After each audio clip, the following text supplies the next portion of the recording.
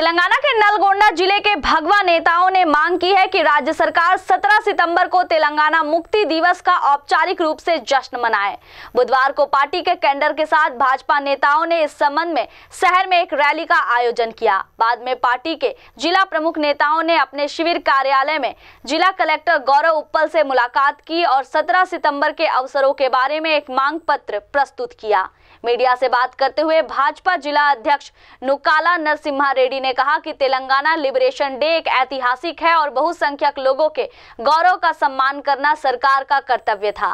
भाजपा नेताओं में ओरुगनी, रामुल्लू, चंद्रशेखर, एन. नारायण रेड्डी और आर. श्रीनिवास रेड्डी और अन्य लोगों ने भाग लिया।